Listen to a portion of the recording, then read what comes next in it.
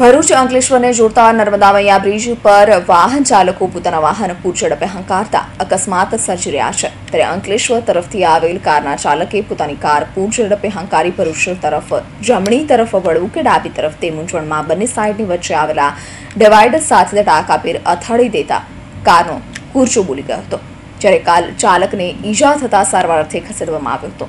અંકલેશ્વરને જોડતા નર્મદા મૈયા બ્રિજ પરથી કાર્યરત થયો. ત્યારથી જ અકસ્માતની વણઝાર વહી રહી છે.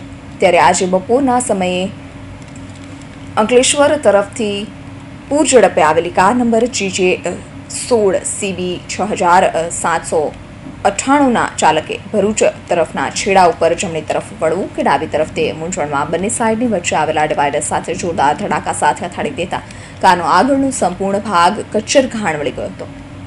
જ્યારે કાર ચાલક વૈભવ ચૌહાણને સામાન્ય ઈજા થતાં સારવાર માટે એકસો આઠ મારફતે ખાનગી હોસ્પિટલ ખાતે ખસેડાયો હતો. અકસ્માતને પગલે લોકો ભેગા થઈ જતા ટ્રાફિક જામની સમસ્યા સર્જાઈ હતી.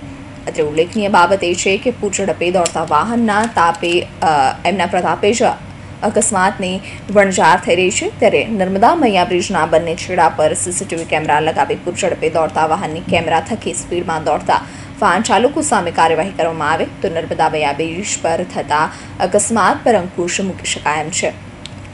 Bureau report Hind News.